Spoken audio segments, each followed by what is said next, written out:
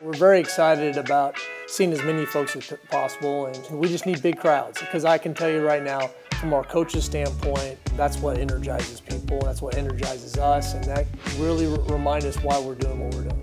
It's just the fans, the supporters, getting out, mingling with people, and just just just the energy that's that's out there. I think every coach really enjoyed the opportunity to spend time and, and, and meet the people that you know give so much to us to show our gratitude. I'm really excited about it, and uh, just a chance, like I said, to see eye to eye and, uh, and get to know as many of our fans as we can, you know, before the season gets here. I'm a people person, so I like to talk to people. I like to learn from people, and uh, just the idea of getting to getting energized by seeing how excited people will be to see our coaches and, and our staff that travel around the state. There's nothing better than getting face to face in front of your fans and kind of just feeling the, the, the passion that, that, we have and kind of where the direction of our program's going and uh, just to brag on our players and really give them a preview for the upcoming season. You know, this is exciting times, uh, you know, a new beginning.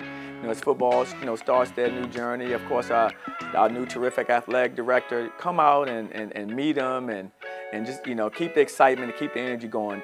You know, we say, we say charge on for a reason. Charge on.